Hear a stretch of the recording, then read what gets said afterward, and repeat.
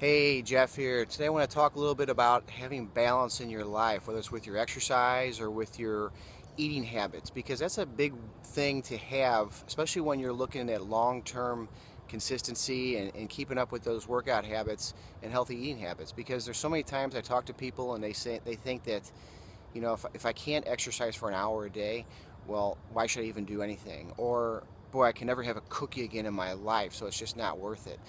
And that's not having a healthy balance because a healthy balance is knowing that even if you have a cookie or two, it doesn't ruin all of your hard work as long as you're doing other things that are really good for you. I enjoy cookies. I enjoy pizza, but I don't have that on a regular basis.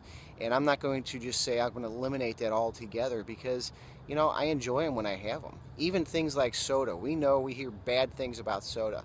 But I think the worst thing about soda is that people have made that a staple in their life, not as a treat. And that's where things go wrong. Exercise, if you got 20 minutes to exercise, do your 20 minutes. But don't blow that off because you don't have an hour.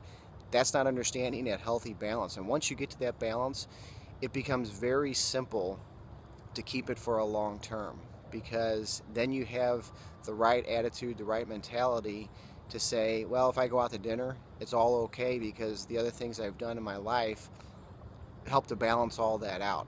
And again, that's the healthy part of what you're doing. We see people that go to the extremes, and that's fine. They can work out two hours a day if they want to, but it doesn't mean that that's the only way to be healthy. And sometimes even that's not a healthy balance when everything about what you do is about exercise. So have that healthy balance.